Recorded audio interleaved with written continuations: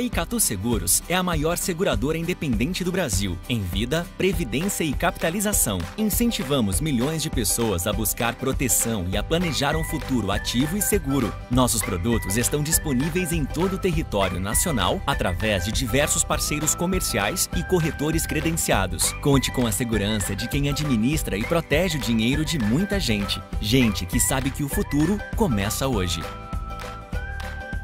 Aqui Diego Casagrande falando com vocês direto dos Estados Unidos, de Orlando, na Flórida. Sejam todos muito bem-vindos ao meu canal, o canal Diego Casagrande. Convidados desta noite, começando com meu querido colega e amigo Guilherme Baumhar, que está lá em Porto Alegre. Alô, Guilherme, tudo bem?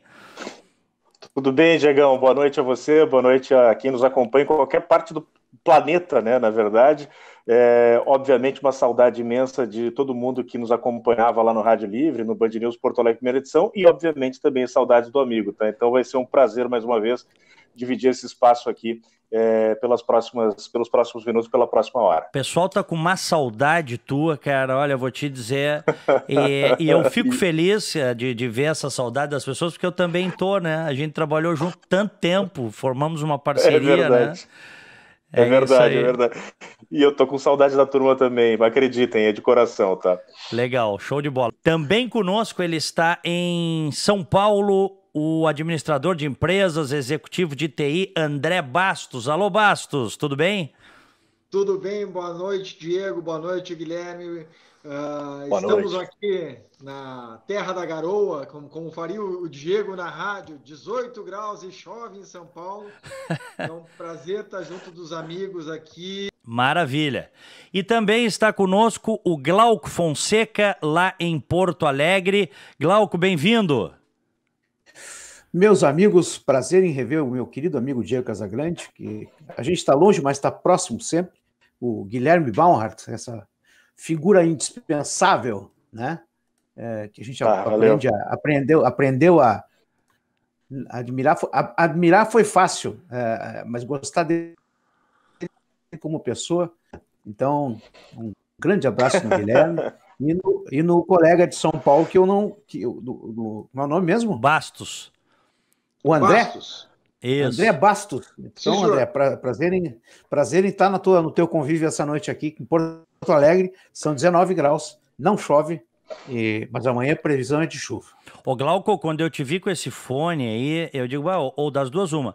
Ou o Glauco tá dentro de um helicóptero, ou o Glauco pegou Sim. o fone de, de ouvido do filho dele que joga videogame. Acertou. Acertei. Ele, ele, pediu, ele, pediu, ele, pediu, um novo. Pediu um novo, porque esse aqui tá meio molengo, tá vendo? Sim. Então ele pediu um novo e eu digo, não, eu te dou, mas eu vou ficar com o velho. E esse aqui é um velho, que por sinal é muito bom. Então tá. Bom, pessoal, vamos começar aqui.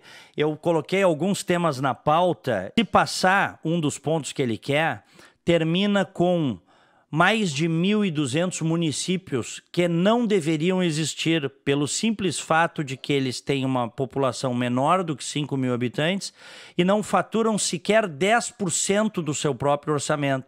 Então a prefeitura e a Câmara de Vereadores acabam onerando o cidadão. O cidadão não se dá conta disso. Né? Tem uhum. mais. Normalmente nesses municípios tem mais vereador do que polícia. Parece mentira, tá? Mas é isso aí. E outras coisas aí que o Guedes está propondo. O, o governo está achando seu rumo, já estava no rumo, ou está achando agora? Qual é a tua opinião, Guilherme? Acho que está no rumo certo, né? A gente hoje ainda tem, vai falar sobre isso também, mas a PEC paralela da Previdência, que engloba municípios e estados, também já teve a sua aprovação em primeiro turno no Senado. Então, olha, para um governo que, como é que se diz, não, não dialoga, não é. conversa e tal, já até aprovaram uma reforma da Previdência e está aprovando a inclusão de estados e municípios, não é pouca coisa, não. É, quanto ao Guedes, é cedo, tá? Mas eu já diria o seguinte: construa uma estátua para esse homem, tá? Porque esse cara olha, ele está fazendo uma revolução no país. É isso que você falou, Diego. Tem município no Rio Grande do Sul e Brasil afora, tem mais policial, tem mais vereador do que policial militar. É, se viveu lá nos anos 80 a ilusão de que bastava ter um prefeito, vereadores, para que o desenvolvimento chegasse em cidades ou localidades que na época não eram cidades é, e que ficavam mais periféricas, digamos assim. E o que a gente viu foi um boom. Aqui no Rio Grande do Sul, a gente está falando aí em mais de 200 cidades que devem deixar de existir. Em Minas Gerais, por exemplo, o número chega a ser superior, se não me falha a memória, na comparação aqui com, com o estado do Rio Grande do Sul, de onde eu falo nesse momento. Então, é, é, é, as pessoas não estão conta de que realmente é acaba sendo um dreno de dinheiro. Você tem um vereador, você tem um prefeito, é uma estrutura de máquina pública, e aí você não está nem contando daqui a pouco os secretários, não está contando os assessores, não está contando toda aquela máquina que precisa girar e ao mesmo tempo é um, é um sugador de dinheiro. Então, olha, e, e, tem mais coisa nesse pacote aí, né? A gente ainda tem coisas por vir. Fim da estabilidade para funcionalismo público é o fim daquela sanfona que só sabe abrir e não fecha nunca, né? Ou seja, é, o setor privado, quando vai mal, demite. O setor é, privado, quando vai bem, ele contrata, ele consegue incrementar os seus quadros de pessoal. No funcionalismo público, isso não acontece, porque a estabilidade amarra qualquer gestor Brasil afora. Glauco Fonseca. Diego, eu tenho. Estou assistindo até com, com, uma certa ansiedade tudo que está acontecendo, porque estou, primeiro, estou surpreso positivamente, assim como o Guilherme. É, no sentido de que as coisas estão aparecendo, os projetos estão vindo, né? E estão vindo bem consistentes, né? Vou dar um exemplo: essa questão dos municípios, ao mesmo tempo em que alguns municípios, aí não, aí não são municípios, né? É, temos que entender a diferença entre cidade e município, né? O, a cidade é, é, é o centro urbano, onde está lá a prefeitura, né? Já o município é todo o espaço geográfico dentro, é, que, que circunda aquela cidade. Então, o problema dos municípios são as cidades, né? em termos financeiros, por quê? Porque elas não têm faturamento sustentável, vamos colocar dessa forma. A arrecadação não é sustentável. Mas, ao mesmo tempo, à, à medida que, como o Bolsonaro falou hoje, municípios com menos de 5 mil habitantes, e que podem vir a, a desaparecer, uh, não desaparecer, mas vão ser incorporados por municípios adjacentes, é, ao mesmo tempo está se votando o Pacto Federativo. E o Pacto Federativo é uma mudança muito boa, muito positiva, né? Que uhum. se instala, porque uh, começa a desdobrar o dinheiro, quer dizer, os 60% da arrecadação que vai para o governo federal, 35% para os estados, vai só 15% para os municípios. Aliás, 50, 30, 25 e 15, 60, 25 e 15, exatamente. 60 para a federação, para o governo federal, 35% para os, os governos estaduais e apenas 15% para os governos municipais. Portanto, esse, essa abertura agora, essa melhor distribuição uh, dos, dos, dos, dinheiros, da, dos recolhimentos dos tributos, ao mesmo tempo que a cidade vai ter as, as cidades vão ter que se alinhar. Isso vai ser muito saudável, né? Porque os pequenos, as, as pequenas prefeituras vão ter que dizer o seguinte: olha, eu vou ter que desinchar, Uh, a sugestão que apareceu hoje de que municípios com menos de 5 mil habitantes, as câmaras de, de vereadores não possuam edis remunerados, é uma ótima ideia, quer dizer, uhum. os caras vão lá para trabalhar pelo município, é claro, é claro que a gente sempre pensa uh, com maldade nisso, por, por experiência, quer dizer, pô, a experiência de assistir, por exemplo, que o cara vai sem salário, mas vai enriquecer por outros meios dentro do, da máquina pública, mas esperando que a virtude se instale um pouco mais, os, as prefeituras vão ter que, vão ter que enxugar, vão ter que gerenciar melhor o dinheiro, e eu não vejo isso como um, uma, um mau augúrio, não, vejo como uma boa perspectiva. Então, Aqui... ao mesmo tempo que temos o, o, Ô, o Pacto, só para terminar, é, o Pacto Federativo vem junto com essa questão municipal. Então, isso aí vai acabar Bom, fechando e vai ser melhor. Aqui nos Estados Unidos é muito comum pequenas cidades não ter remuneração, viu, para prefeito nem vereador.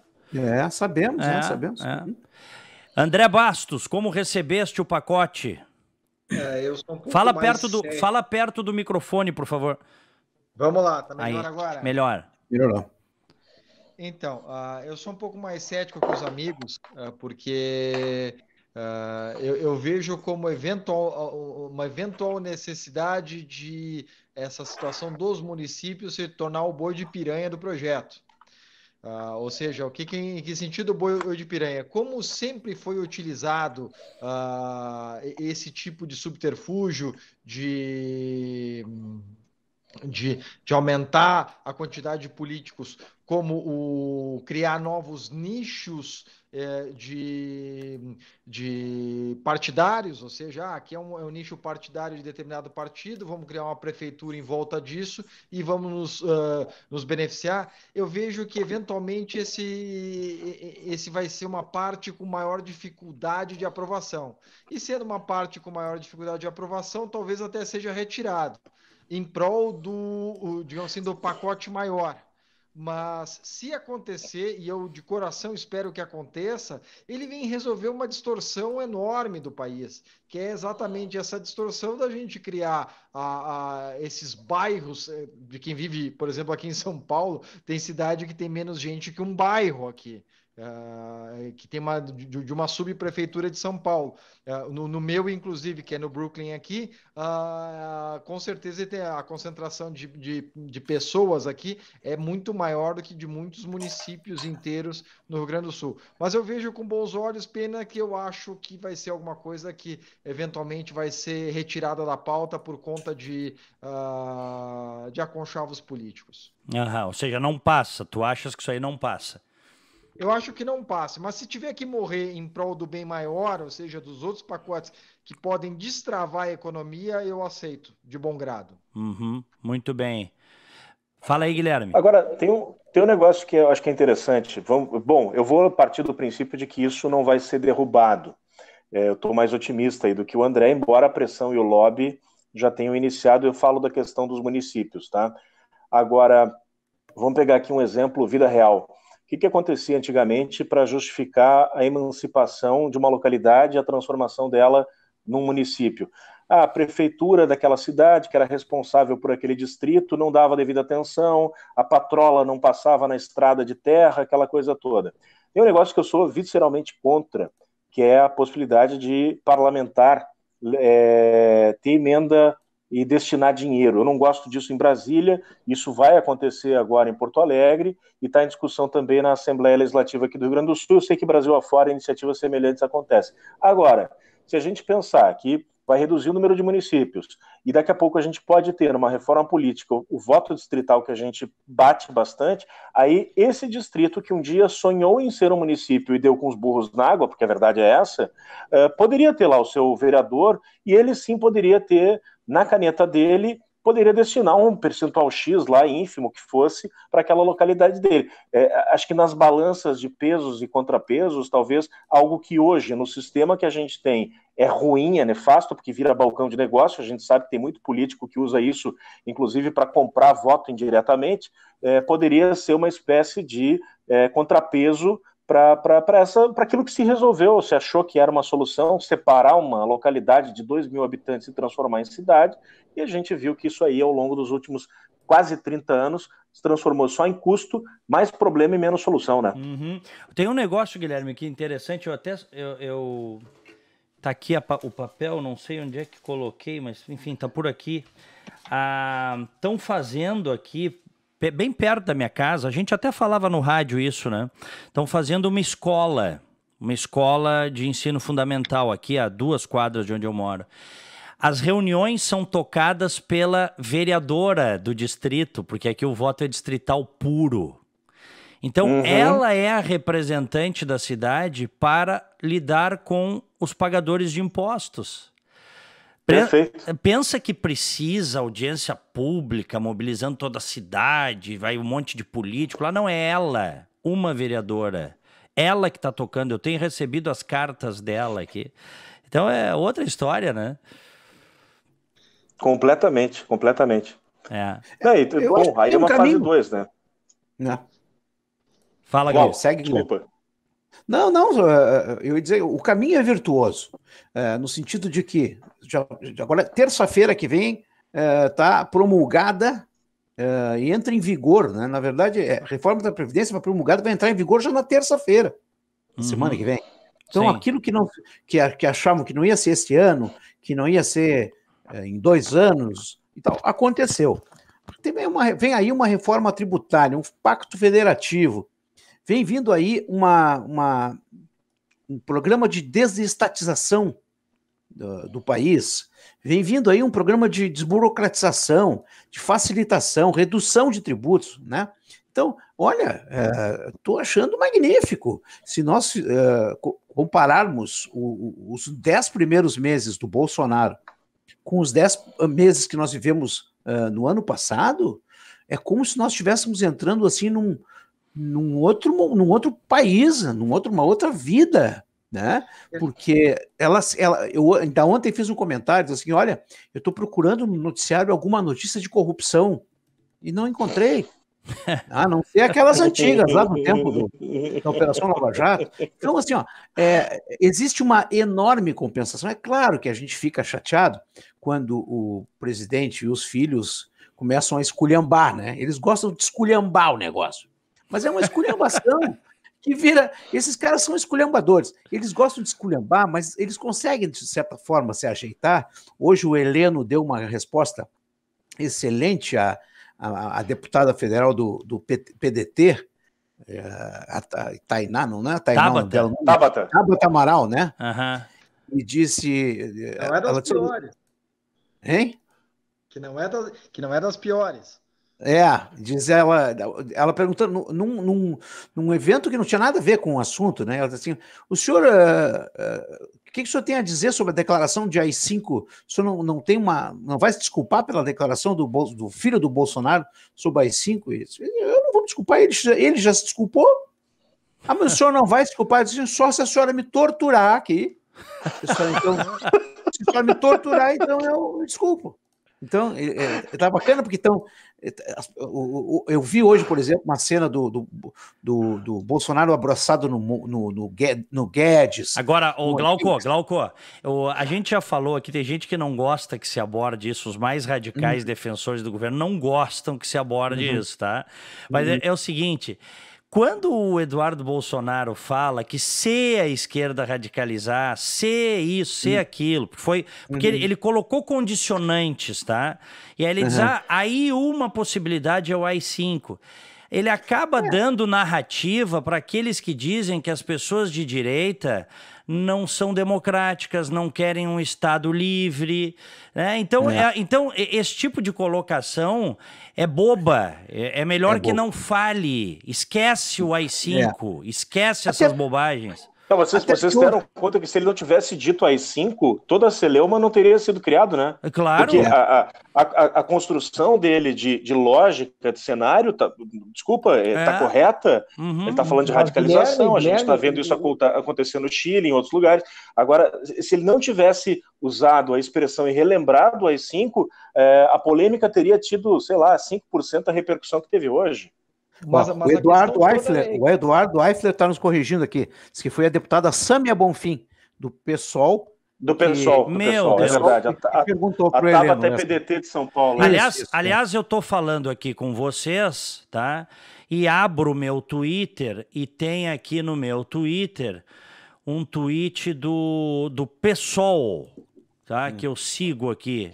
E aí diz assim no tweet: Freixo da aula de democracia para General Augusto Heleno. Ah, não. não deve ser aula. Aí, deve ser é o stand-up comedy do PSOL, isso aí, tia. É, não, tá aqui no, no, no tweet do PSOL e um vídeo. Freixo da aula de democracia para o general Augusto Heleno. Deve ser sobre a democracia venezuelana que o pessoal gosta tanto. Só é, pode. Mas é. isso aí virou, virou, Picard, virou sacanagem do dia a dia virou aquelas coisas, aquelas pérolazinhas da esquerda que, como tinha antes do PT, lá pelos anos 90, tinha esses cacos, os famosos cacos, né? Que era uma frase solta aqui do Freixo, de um Boulos da vida, que antiga, há pouco tempo atrás se levava a sério, mas hoje, ó, ninguém dá a mínima mais. Aham. Uhum. É, pior que eu acho que para os ah. convertidos isso serve e, esse tipo de coisa. Nossa, que vai, tem, certeza que vai ter retweets disso aí, dizendo assim, viu, olha lá, não perca, não desista, Freixo, nós vamos vencer estes fascistas. Aí, esse é outro ponto bacana, né? Que fascismo é esse que descentraliza o Estado, a federação?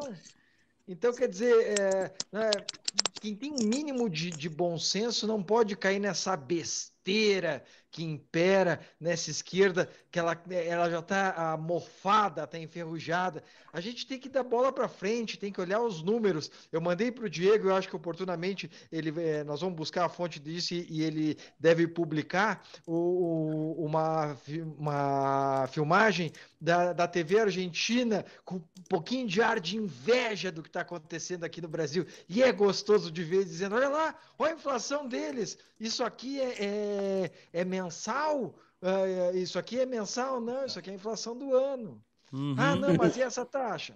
Vem cá, deixa eu, deixa eu, deixa eu fazer uma pergunta para vocês. É, André Bastos, Glauco Fonseca, Guilherme Baumhar. O que foi que aconteceu com o povo argentino? Eles viraram definitivamente um povo suicida ao colocar o Alberto Fernandes e a Cristina Kirchner de novo no poder. Eu quero ouvir vocês sobre, sobre isso que está acontecendo lá, hein, Guilherme? Qual é a tua análise? Sabe que é, é, uma, é um negócio curioso isso, porque é, se a gente olhar, por exemplo, para a Argentina e para o Uruguai, a gente tem índices educacionais, eu estou falando de ensino básico, não estou falando necessariamente de ensino superior e pesquisa, é, que são melhores do que os nossos aqui no Brasil, via de regra. Se você analisar o consumo de livros per capita dos argentinos, os argentinos leem, em média, muito mais do que nós. E, no entanto, eles são capazes de produzir esse tipo de tragédia de decisão eleitoral. É, então, é, é uma, eu não estou aqui fazendo nenhuma apologia à não leitura, à não cultura. Por favor, não me entendam errado. O que eu quero dizer é que, é, em algum momento da história, é, os argentinos passaram a acreditar em Papai Noel e isso, sei lá, é, virou um troço genético, passa de geração para geração. Uh, eu, eu, realmente não sei. É, eu lembro que em 2008 eu fui à Argentina e peguei um táxi. É, eu não lembro qual era o deslocamento que eu estava fazendo, e eu sei que a gente começou a bater papo, eu e minha esposa, com o taxista. E ele começou a reclamar do Menem, e aí eu fiquei pensando, pô, ele está reclamando do Menem porque a dolarização da economia não deu certo, aquilo ali foi um fracasso, enfim. E na verdade ele estava brabo com o Carlos Menem, com o ex-presidente, porque o Menem tinha feito privatizações. Ele dizia assim: ele vendeu as joias argentinas, ele vendeu as joias argentinas. Então é, a turma continua acreditando que o caminho é estatal. Tem uma parcela significativa da população que é, não entendeu uh, que o caminho é pela liberdade. Cristina Kirchner é, ela, ela resolveu perseguir produtores rurais, né? Vocês lembram disso? Né? A Argentina que tem na sua economia uma a, a base da economia argentina está na soja, está no trigo, está no gado de corte em especial. É, e ela resolveu comprar briga com esses caras a ponto de é, quase que inviabilizar a produção dessas commodities, né? É, é, é uma, é, uma, é uma pergunta interessante, Diego. Eu não, eu não tenho resposta pronta para ela, assim, debate pronto, mas o que mais me encasqueta é isso. É, é um povo que lê, é um povo que tem uma boa base educacional e que, no entanto, faz esse tipo de besteira é, a cada quatro anos. Né? Se você pega os últimos 30 anos de, de eleições argentinas, é, sei eu, vi, em 20 deles você tem lá um peronista populista. Né? Claro. André, não, então, Diego, a, a minha impressão, eh, peço até desculpa se eu estou falando, o, mas eu acho que o meu, o meu microfone está regulando o ganho aqui, desculpa a, a, audiência, mas eu acho que a, o que está acontecendo é que a, a Argentina não viu no Macri um, alguém que pudesse ajudá-los. Uh, ele realmente ele passou quatro anos e não quis mexer, mexer em alguns vesperos que o Bolsonaro ele de cara já saiu mexendo aqui. Eu não sei se ele tinha pretensão de ficar mais tempo ou algo do gênero, mas uh, é, eu acho que ele não, uh, ele não quis abordar e ele pagou nas eleições por isso. Uhum. Glauco. É, desde menos anos 30, o peronismo deita e rola na Argentina. Tá? O peronismo, como o Guilherme falou, governo populista, é, que, que eles lá eles chamam dele governo grátis né? O argentino, o argentino adora o peronismo, porque o peronismo é populista, é nacionalista, estatista, né? E o peronismo advoga que o Estado tem que prover, né? prover tudo, ou quase tudo, para o cidadão argentino. Com a experiência liberal do, do Macri, o Macri, é, é, o Macri é um sujeito bilionário, dono de uma empresa chamada Socma, sociedade, Macri, que tem várias. Ele é dono de várias empresas aqui no Brasil, principalmente na área de alimentos, né? E é um cara, um, um gestor, um empresário muito bom. Mas o que, que aconteceu? E a proposta de economia liberal na Argentina não teve, não teve apoio. É simples. Não funcionou. Né? Não funcionou, porque a derrocada econômica é muito grande, uh, o, o, fundo do poço é muito fundo. E o que, que, aconteceu? Ele foi com o liberalismo aos poucos. Ele entrou suavemente com o liberalismo, e aquilo que o Diego falou. Ele achou que ia ter mais tempo. Mas ele perdeu. A Argentina é peronista. E o peronismo é isso aí que nós estamos vendo. Cristina Kirchner, Néstor Kirchner, que, a despeito, a diferença do Brasil, né? O que, que o populismo e a esquerda no Brasil ela, ela, tem, ela, ela não, não prosperou tanto, né? Uh, apesar dos 15 anos, né, 14 anos de Lula e Dilma, né? É, por causa da corrupção. Os, os gestores brasileiros não fizeram absolutamente nada, ou quase nada, uhum. em, em termos de choques heterodoxos, né, choques econômicos, tributários, fiscais e previdenciários, não fizeram nada. E, o, e a Argentina, o, o, Macri teve muito cuidado e errou a mão. Ele foi cuidadoso demais e o liberalismo, então, vai, tirou, tirou umas férias da Argentina com a volta da Cristina Agora, Kirchner. O... Diego, se tu, ah, se tu, me permite, só, claro. só para fazer um complemento aí ao que disse o Glauco, na verdade, uhum. é, a gente até falava um pouco antes da nossa live começar. É, o Macri ele tentou, é, em algumas etapas do seu governo, fazer um negócio meio que em doses homeopáticas e deu errado. Tanto é que ele não foi reeleito e as dívidas continuam. A Argentina é, segue no buraco. É, a gente fala e critica muitas vezes, a gente inclusive já falou aqui sobre isso, sobre o estilo, especialmente dos filhos do próprio presidente da República, e eu acho que às vezes eles, eles realmente erram na dose. A gente citou aqui o exemplo do Eduardo Bolsonaro na entrevista lá para Leda Nagli. Agora, tem um ponto aí que merece ser importante e talvez sirva de alerta para a gente. É, a gente falava fora do ar o, o, Bolsonaro ele, ele inverteu uma lógica que a gente tinha vigente e que talvez na Argentina tenha prevalecido nesse período, que era daquela figura do presidente da República, uhum. um tanto quanto é, diplomático, digamos assim. É o cara que é o chefe de Estado, é o chefe de governo, é, é o cara que está ali para colocar panos quentes. É o... e, e você tinha, né, em governos anteriores aqui no Brasil, nos ministros e na base aliada, o líder do governo, o líder do partido, aquele trator, o cara que arrebenta a trincheira, o limpa-trilho. O Bolsonaro inverteu essa lógica.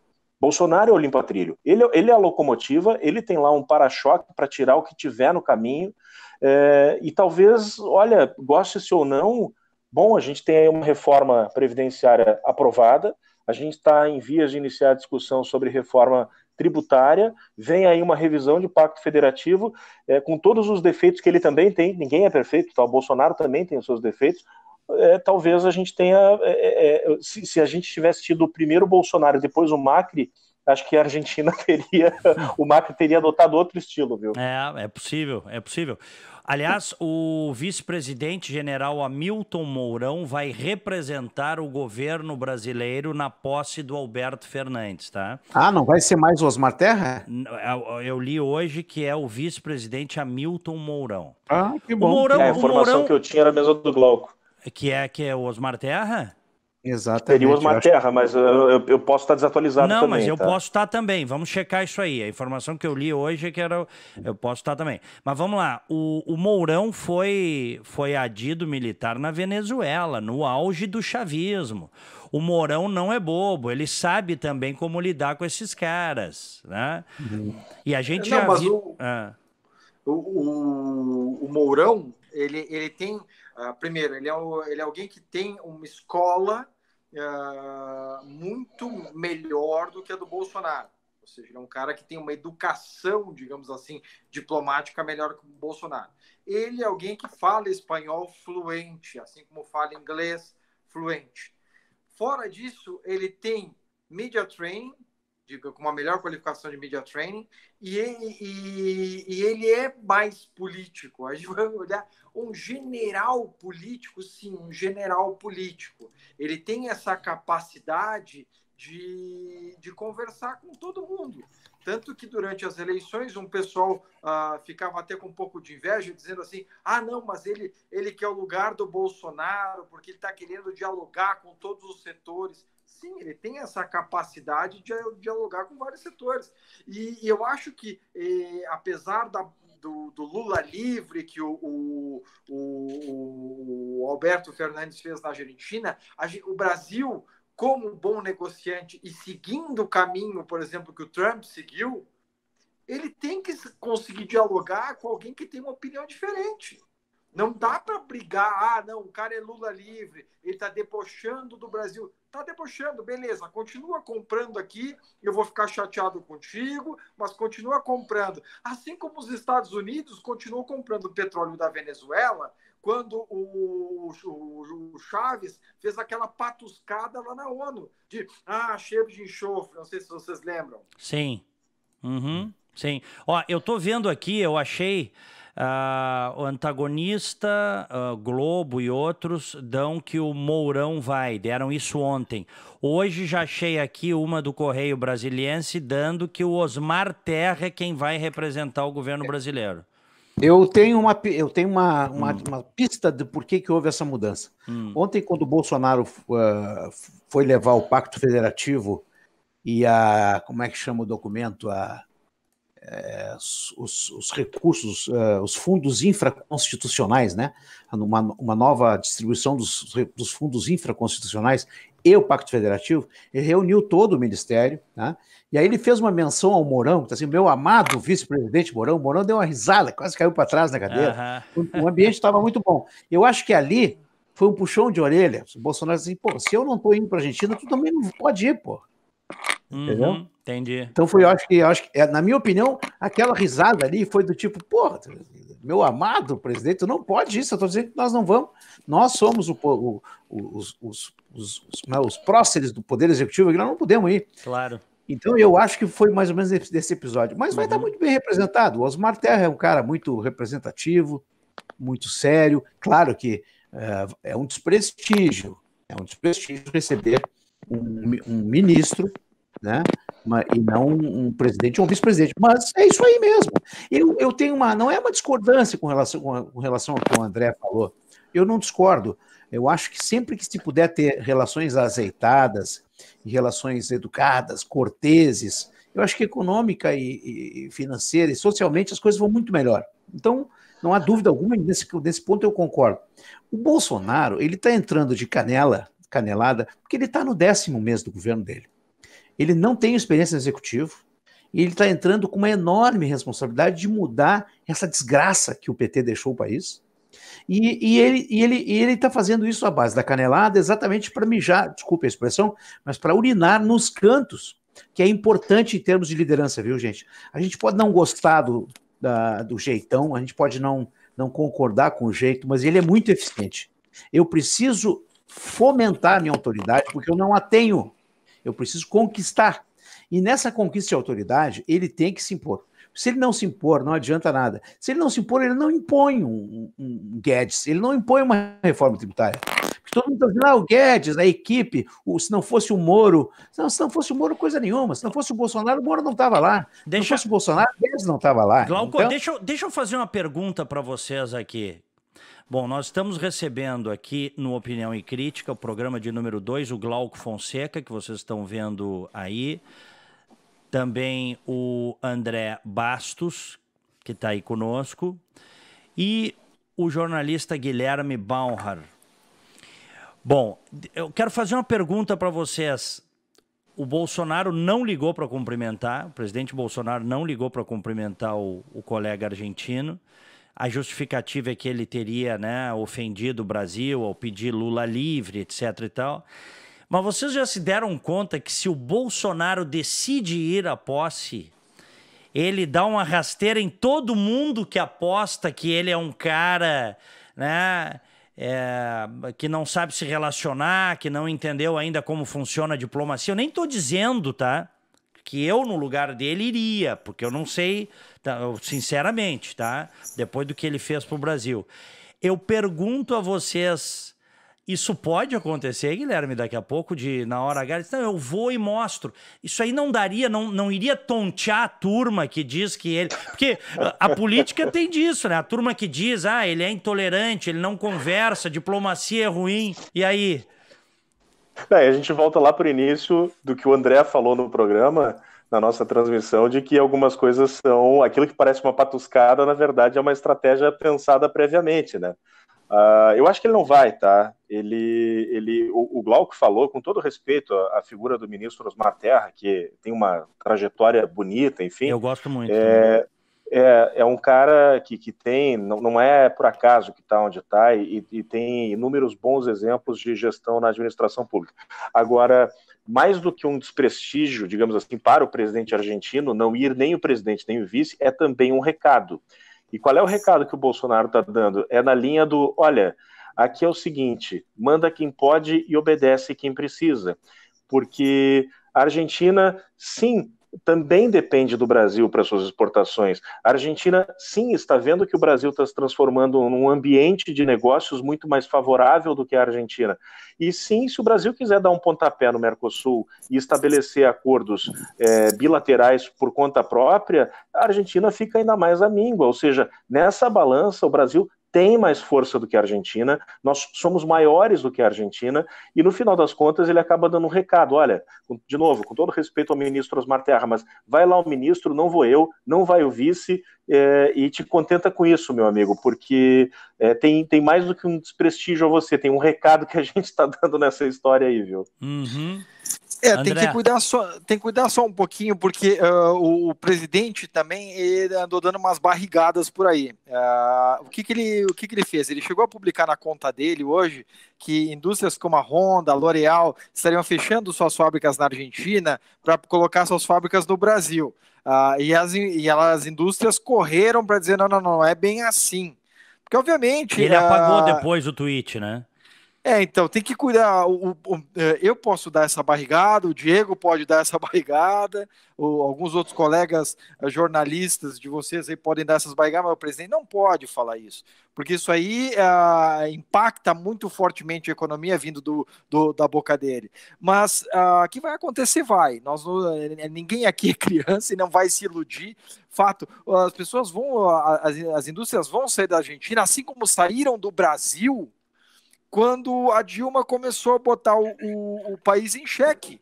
Quando e, e, e sair e, e, todo esse progresso que a gente está vendo, ele seria revertido se o Supremo começar a botar o país em xeque, começar a, a inibir o combate à corrupção, a começar a, o Congresso não ajudar nas reformas. Então, eu acho assim uh, que a Argentina é, se ela olhou um pouco do, do desenvolvimento do Brasil, ela tem que dizer assim: olha, beleza, eu sou peronista, eu sou de esquerda, eu tenho uma, uma, uma Cristina Kirchner, que é o, o digamos assim, a, a, mandante do poste tá, que está aqui do lado, mas eu não posso me vincular a isso, eu tenho que sair disso aqui, porque senão tudo que o Guilherme falou vai acontecer.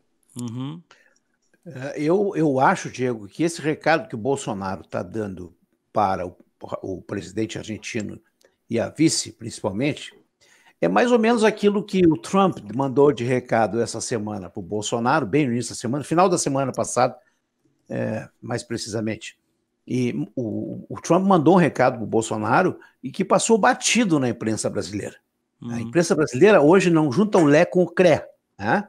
O que, que, que, que aconteceu? O governo americano vetou a entrada da carne brasileira. Estão é lembrados? Verdade, é verdade. Uhum. E alguém sabe por quê? Alguém imagina os, ou, é ou acha, sabe por que isso? Bom, porque historicamente nós não entrávamos nos Estados Unidos. A uhum. justificativa uhum. era a questão da aftosa, mas na verdade, é. mas na verdade o americano faz uma baita reserva de mercado. Isso aí é. é claro, mas não é só isso, Diego. É. Eu, me permita. Claro. O que, que aconteceu foi o seguinte: é... o que, que o Bolsonaro foi fazer um périplo pelos grandes inimigos islâmicos na semana passada? Uhum. Entendeu? O Salamalek que, que o governo brasileiro foi fazendo no Oriente Médio semana passada já rendeu o primeiro o primeiro óbice, o primeiro ônus, desculpe, que é o seguinte: ah, é, segura aí um pouco. Aquela simpatia do Trump, aquela, não, agora, agora pode tudo, vale tudo, não sei o quê, não é bem assim, gente. Tu não vai negociar com inimigos do Estado americano e depois vai querer fazer negócio tá, comigo. Mas Glauco, Glauco, Arábia, Sa tá Arábia... Com a... Mas a Arábia Saudita é aliada americana. Não, mas não, não, foi só a Arábia Saudita, uh -huh. né, Diego? Não, não é, foi. vários é. estados, vários estados é. uh, no Oriente Médio e todos eles, no conjunto, todos eles uh, representam primeiro uma ameaça ao fornecimento de petróleo americano, apesar que os Estados Unidos hoje é autossuficiente mas ele, ele sempre procura não usar as suas reservas, manter as suas reservas. Mas o principal recado, em termos políticos, para mim, isso aí pra, eu achei brilhante. Uhum. É, só que o Bolsonaro não tem a sutileza do Trump. Ele diz: não vou. Entendeu? Eu não vou porque eu não gosto da Cristina Kirchner, eu sou contra a esquerda, e os argentinos fizeram uma cagada eleitoral, então não vou. Me bate a cabeça. Eu só não, eu só, eu só não sei onde é que o, o Glauco enxerga a sutileza do Trump, mas tudo bem. Não, mas o Trump, perto, dos, perto do Bolsonaro, perto do Bolsonaro, o Trump é o Barishnikov, meu Guilherme. O Trump não, agora, o Trump agora, me permitam, Glauco, Glauco Fonseca, Guilherme Baumhar e André Bastos, olha aqui, ó. O Trump agora é, está dizendo o seguinte, eu até separei aqui para não errar o entre aspas dele, tá? Ele está se colocando à disposição, colocando os Estados Unidos à disposição do México. Vocês viram que essa semana uma família, uhum. nove pessoas, foram mortas, americanos, né, que é da, da religião mormon, foram mortos é, por, por, por, gangues né, de, de, narcotráfico no México, e boa parte do México está tomado por esses, por esses bandidos. Pois o Trump disse tá, que uh, coloca os Estados, os Estados Unidos à disposição para solucionar o problema. Tá? E, e se não me engano, viu, ele falou assim é, solucionar o problema de forma rápida e limpa. Nessa é, linha. É, qual é a dica? A dica é o é. filme. A dica está no filme é, O Sicário. Sicário. Sicário. Segundo, eles entram e, e, saem do México de helicóptero. É, né? é. E, e, eles têm os drones, bicho. Eu recomendo muito que, que o nosso público assista a série Jack Ryan. Uhum. Tom Clancy, Tom Clancy's Jack Ryan. São oito episódios da primeira temporada e oito na segunda. E as guerras hoje são com drones. Precisão absoluta. Então ele sabe onde estão os, os, os núcleos, né? Os, do, do cartel, dos cartéis. Ele sabe onde é que estão, tudo bem. É, é, é, que é, o, o, que acontece com o, agora falando um pouco de, da, da, questão de defesa, o que acontece é que os Estados Unidos está no mesmo footprint do México. Ou seja, o México está muito próximo dos Estados Unidos. Então, os satélites que, que fazem a varredura dos Estados Unidos continental fazem a varredura do México também. E, uhum. e, e não para um ataque de drones. Eu acho que ele se refere a uma operação tipo foi essa uh, que, que acabou vitimando ou vitimando porque ele, ele, se suicidou o líder da, do ISIS e também a mesma que pegou o Osama Bin Laden. É isso, entra com uma tropa de, de forças especiais, captura ou elimina uh, esses chefes do tráfico e começa a desarticular. Porque o que ficou, o que está claro, está claro há anos, é que assim, o México sozinho não tem condições de lidar com essa situação. Não, não tem. Agora, agora esse presidente do México, o Lopes Obrador, antes de se eleger, historicamente o discurso dele era padrão PSOL, assim, um cara de extrema uhum. esquerda, tá? Exatamente. Agora ele chegou ao poder, ele já mudou um pouco o discurso. Ele continua um cara de esquerda, mas ele é extremamente cordial quando se refere ao Trump, aos Estados Unidos, porque bobo ele também não é, né? Porque bobo ele é. também não é, né, Glauco? Uhum. Ah, inclusive, ele, ele tomou um solavanco forte por conta das correntes migratórias que vinham da Guatemala, principalmente, estavam atravessando o território venezuelano, uh, mexicano com toda a liberdade, né? E, e, eles estavam tentando criar um canal direto, né? Uma ponte direta entre Guatemala e Estados Unidos. Uh, e já aproveitavam e colocavam os mexicanos juntos nesse uhum. stream de pessoas, né? Aí o Trump deu um parte quieto, tanto na Guatemala quanto no México. Digo, olha, agora estão estão exagerando e tal, e as coisas deram uma acalmada, né, Diego? Claro. É, foram ameaças de sanções econômicas, uhum. de sobretaxa, é, aumento de, de, tributos sobre produtos uh, uh, importados do, do México e assim por diante. Mas, acima de tudo, essa questão do narcotráfico, dos cartéis uh, de narcotráfico dentro do México, é uma solução militar. Quer resolver o problema? É uma solução militar. Só que o, o, o, o Estado mexicano ele é tão corrupto, mas tão corrupto, que ele não tem mais. O, o, Joaquim não, não confia no José, entendeu? Uhum. Eles não têm como fazer isso, não existe operação secreta, é tudo vazado, cheio de traidores. O narcotráfico tem toda a folha do Estado mexicano, uh, controla esses caras todos. Então, é um país que está entregue ao narcotráfico, assim como já foi a Colômbia. Não sei se vocês se lembram, é, nos tempos do eu Pablo isso, Num grau pior do que a Colômbia, tu acha, Glauco? Eu acho que idêntico, em proporção maior, né? Porque o México é maior e mais rico, né? Mas a, uh, no mesmo nível, e aí com uma diferença. Não era um ou dois líderes de, de, de cartel. São, são dezenas no México. São dezenas. É, então. Mais fortes, mais fracos. Eu, eu, acho que aí reside uma pequena diferença em relação à Colômbia. A Colômbia chegou a oficializar as Farc como uma, uh, como uma força paralela ao governo, virou partido, virou o, o, quase como uma entidade à parte. No, no México, o negócio ainda está muito distribuído em, em, uhum. em vários di diferentes chefes desse tráfico, uh, o que é mais fácil e mais difícil. É mais fácil uh, de desarticular individualmente, mas mais difícil difícil, porque quando a gente combate um, tem o outro.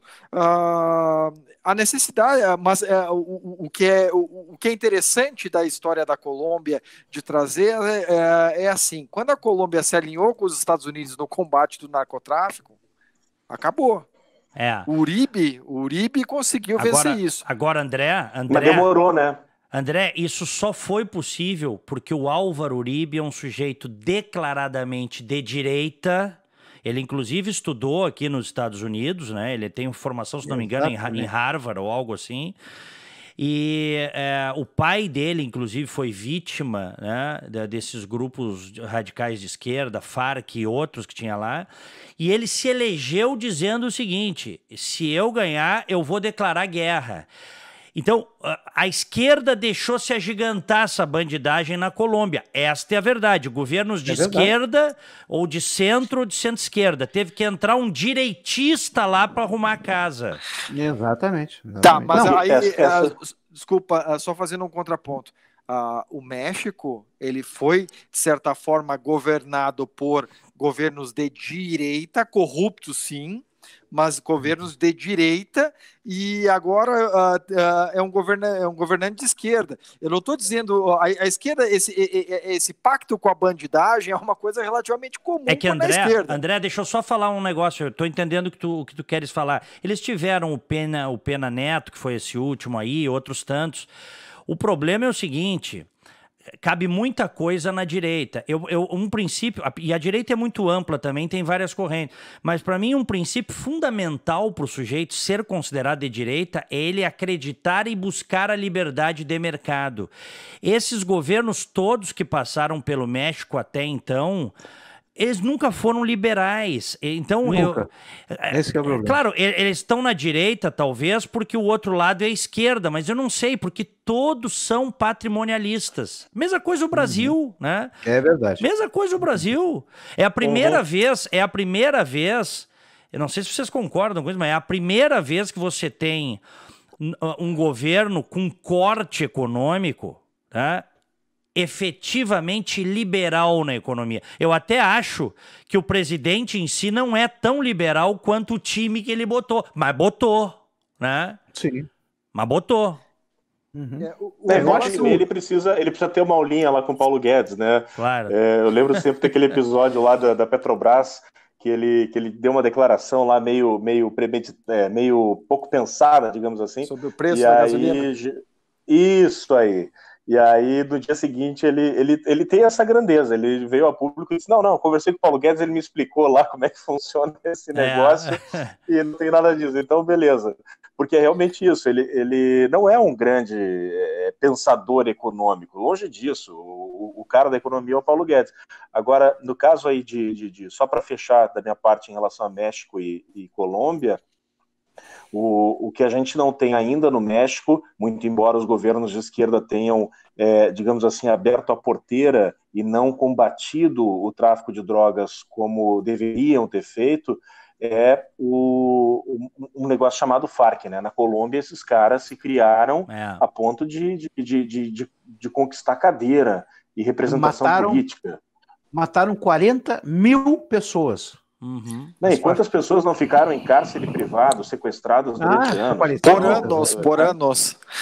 Um, um, agora, só trazendo para o nosso universo a situação do México, que é um governo de esquerda se alinhando a um chefe de Estado de direita, no caso o do Trump. Uh, vocês já notaram o Camilo Santana no Ceará, que estava vivendo um caos mexicano no Brasil? Uhum. Como ele, ele se alinhou com o Bolsonaro? Ele, ele talvez seja o petista mais manso que existe em relação ao Bolsonaro, e as coisas parecem estar tá, tá dando certo lá no Ceará, não acham? É porque ele é o menos idiota. Só isso. é, o menos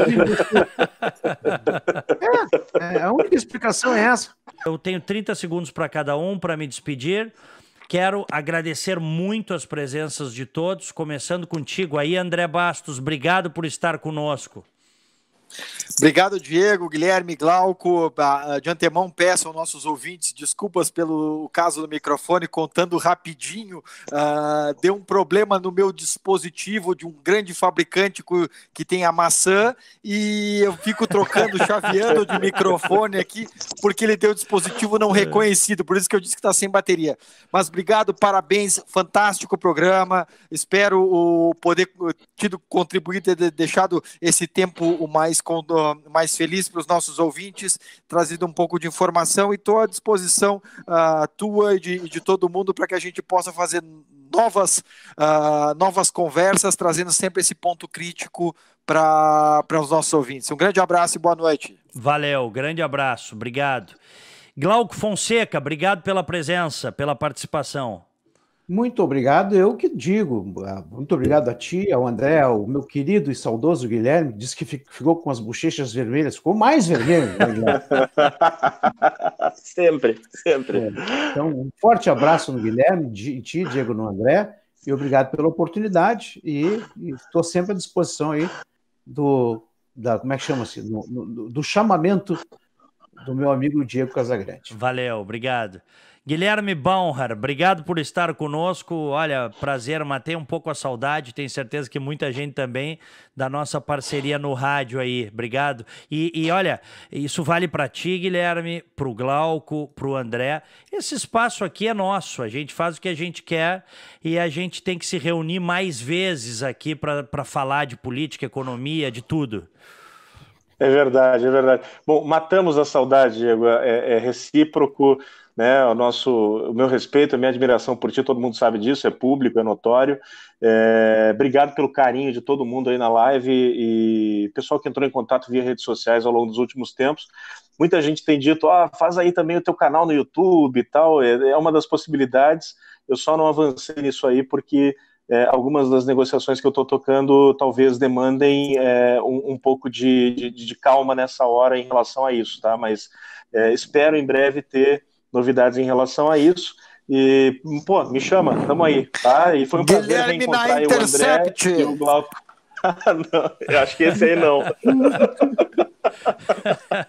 Maravilha. Tá, um, beijo, um abração grande aí, Glauco, André, e para ti também, Diego, para todo mundo que nos acompanhou aí, tava com saudade. Valeu, nós também. Um grande abraço, fica com Deus aí. Tu, Glauco, André e os nossos queridos, queridíssimos internautas, ouvintes, onde quer que você esteja acompanhando, o sucesso de um, de um programa como esse são os convidados, né? Hoje a gente teve de novo um timaço aqui e esse é o grande desafio, é ter pessoas desse nível, dessa qualidade, opinando, né? É, sabe que a, uma coisa que eu vou dizer microfone aberto, Diego por perto, né, Guilherme? Isso aí até era uma coisa que sempre, quem sempre. trabalha comigo sabe. Mas é o seguinte, é, eu acho que o segredo é, na rede social é a gente conseguir fazer coisas bacanas sem precisar lacrar, tá detonando todo mundo. Porque tem, tem muito canal aí no YouTube, no Facebook, que é só detonação, bicho Só detonação. Uhum. Pô, vocês trouxeram opiniões embasadas, vocês são pessoas que leem, são pessoas bem informadas. Então é o seguinte, eu não, eu, é o que eu sempre digo, assim, eu não me importo que a minha rede não tenha 500 mil seguidores, tá? Eu prefiro ter 5 mil, nós até temos mais, tá? Se somar tudo, mas eu prefiro ter 5 mil, mas gente que esteja disposta a ver um conteúdo de qualidade, que possa pensar, né? Esse é o lance, né, Guilherme? É verdade, é verdade. É, a lacração é o caminho mais fácil, né, para se chegar a esses números aí que, que você mencionou, Diego. Mas acho que a nossa proposta nunca foi essa, né? Tem, é. A minha não é, e tenho certeza que a tua também não. É, é, é, trazer conteúdo, um debate, sabe, o mais qualificado possível. A gente às vezes erra também, mas procura acertar sempre. Meus queridos, obrigado, viu? Satisfação enorme. Fiquem com Deus. Valeu. Valeu. Boa noite. Valeu, valeu. É. Bom, pessoal, obrigado, tá? Obrigado a vocês que nos acompanharam até agora. Show de programa, show de bola. Tenham todos um, enfim, tenham todos, uh, se está ouvindo de noite, boa noite, de manhã, um excelente dia, enfim, fiquem com Deus, tá bom? Tchau.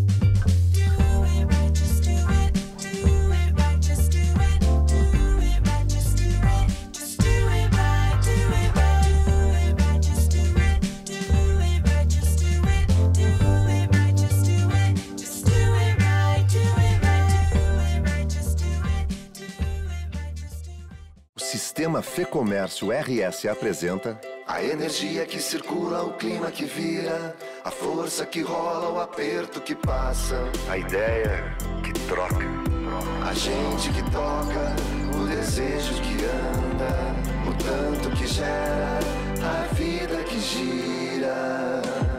Sistema Fê Comércio RS. Com você, a gente faz a economia girar. Com você, a gente faz a vida se movimentar. A Icatu Seguros é a maior seguradora independente do Brasil em vida, previdência e capitalização. Incentivamos milhões de pessoas a buscar proteção e a planejar um futuro ativo e seguro. Nossos produtos estão disponíveis em todo o território nacional através de diversos parceiros comerciais e corretores credenciados. Conte com a segurança de quem administra e protege o dinheiro de muita gente. Gente que sabe que o futuro começa hoje.